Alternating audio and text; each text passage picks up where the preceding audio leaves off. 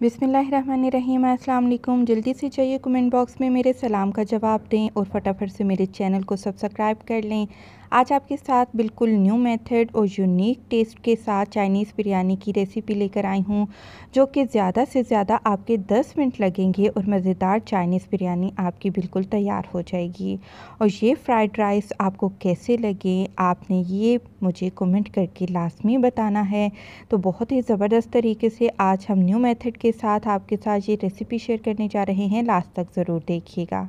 तो यहाँ पर मैंने उबले हुए चावल लिए हैं। ये मेरे बचे हुए चावल थे, जिनको मैंने फ्रिज में रख दिया था और ये एक प्लेट चावल मैंने लिए हैं और दो अदद अंडे हम तोड़ेंगे और डायरेक्ट हमने चावलों के ऊपर डाल देने हैं। बॉईल किए हुए चावल हैं ये और इन दोनों चीज़ों को हम अच्छे से अब मिक्स करेंगे और मिक्स इस तरीके से करना है आपने कि थोड़े थोड़े से जो चावल हैं, वो भी आपके अंडों के साथ बिल्कुल मैश होने चाहिए। ज़्यादा नहीं होते हैं मैश चावल तो कोई बात नहीं, जितने हो सकते हैं उतने कर लीजिएगा।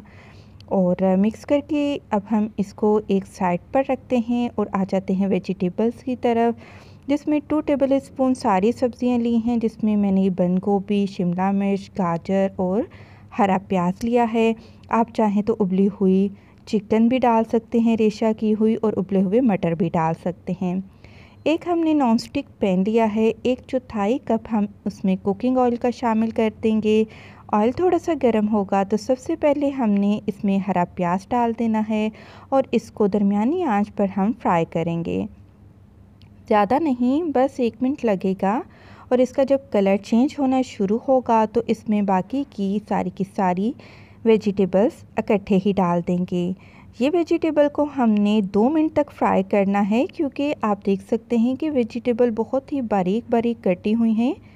इस वजह से ये फ्राई होने में ज़्यादा टाइम नहीं ले, लेंगी। तो बस दो मिनट के लिए हमने इनको फ्राई करना है। उसके बाद इसमें आधा चाय का चम्मच नमक डालेंगे। आधा चाय का चम्मच फ्रेश कुटी हुई काली मिर्च डाल देंगे और इसमें हम one tablespoon soya sauce डाल देंगे। बस इन तमाम चीज़ों को बस अच्छे से मिक्स कर लेना है और ज़्यादा मसाले कुछ भी नहीं हैं। आपको पता है चाइनीज़ फ़ूड में ज़्यादा स्पाइसेस ऐड नहीं किए जाते हैं। तो अब हम इसमें चावल और अंडा डाल देंगे। यहाँ पर आप चूल्हे की आँच को थोड़ा सा तेज़ कर लीजिए और आपने अब इनको स्टिर फ्राई कर लेना है। और ज़्यादा नहीं मज़ीद आपके दो मिनट लग जाएँगे और ये ज़बरदस्त हमारी चाइनीज़ बिरयानी या फिर फ्राइड राइस बिल्कुल रेडी हो जाएँगे। उम्मीद करती हूँ ये वीडियो आपको पसंद आई होगी। लाइक करें, खुश रहें दुआ में याद रखें। अल्लाह हाफिज़।